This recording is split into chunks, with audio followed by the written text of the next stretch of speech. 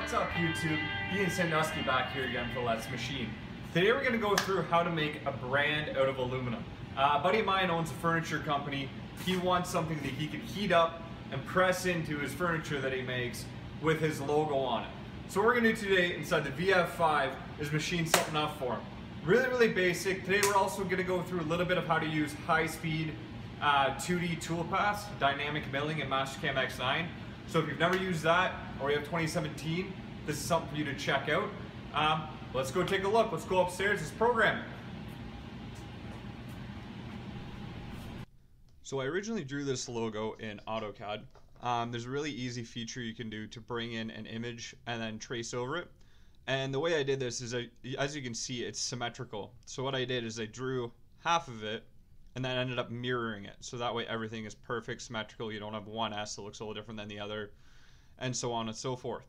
Now, since this is a brand, obviously it's going to need to be upside down. Um, it gets heated up and pressed in. So if, this way, if, if we made it this way, it would be backwards. So we flip it around and mirror it. We end up with something like this. Um, actual brand size is 4x4. Um, this out here is the machining region for the pocket. It's just to make sure that this entire outside area is milled down, um, just in case my uh, piece of material isn't actually four inches, maybe it's a little bigger. This way it makes sure everything is cleaned up. Um, I didn't buy the 3D modeling this or anything, it's all flat geometry, uh, so it's pretty easy that way. Our first tool path is a pocket with a half inch cutter. This goes around the outside, uh, you can see it has a helical entry here. It's going down to 1 8 depth. It's just cleaning out everything along the way. Um, I believe I'm using a parallel spiral toolpath on this. And you see that's why it has these little uh, ins and outs in the corners there to clean it up. Second toolpath we're going to use here is a 2D high-speed path. You can hit this by going into 2D high-speed and this is a dynamic mill. So you can see here, um, it looks really, really crazy. I'm doing it with a 1 8 Obviously, I could have used a bigger cutter to hog it out and then uh, finish it up, but for what I'm doing, I didn't really care. It's one piece. I was running it between um, jobs, so if it takes a little longer, it doesn't matter.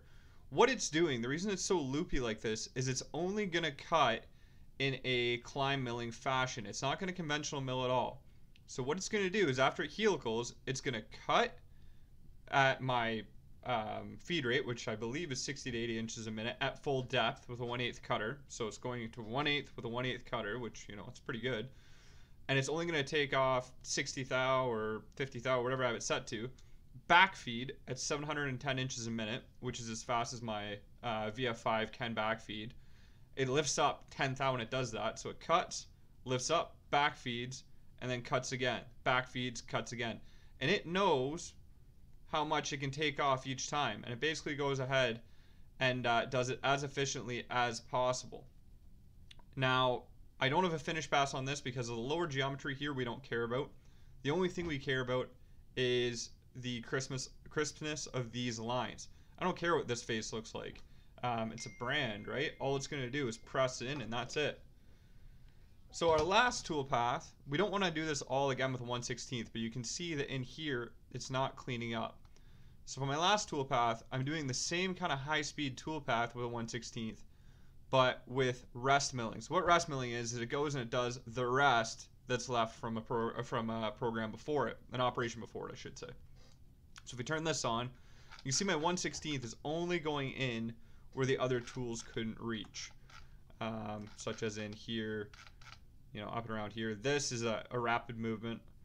Um, although yellow is rapid movement in Mastercam, it's feeding at 710 inches a minute, which is essentially a rapid speed.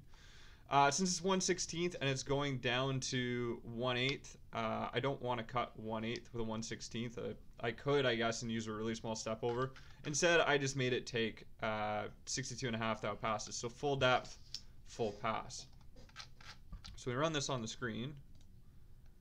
Uh, let's turn all these on. Bring it up. Wait for it to process. Let it run. Again, you can turn on your tool opacity here. So we can see, this is going out that 1 8 Color loop is on. I like color loop because then you can see what each tool is doing.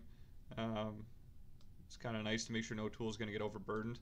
So you can see it calculates how much to take off. So it's always going to be taking off the same amount of material wherever it goes. You don't have to worry about burying your tool or anything like that. Now it's not going to get super close in here. I could finish that out with an even smaller tool, but uh, my buddy said it's okay if it looks a little round in there. It's a brand anyway, so it's not going to be super, super crisp. It's going into wood. Um, so, you know, it's going to look burnt no matter what. And there we go. So if you turn off the color loop, you can see what it looks like when it's done. So let's go downstairs. Let's uh, put it into the VF5 and let's run it.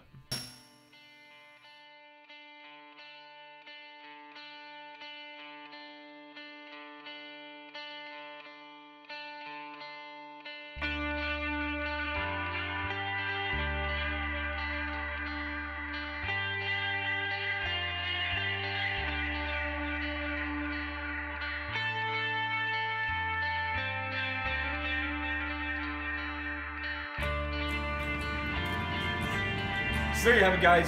That's how we're gonna make an aluminum brand out of 6061 aluminum. Um, really basic. Again, don't be afraid to play around with these tool paths. I had never used that one specific tool path um, in aluminum with a 1 8 Yes.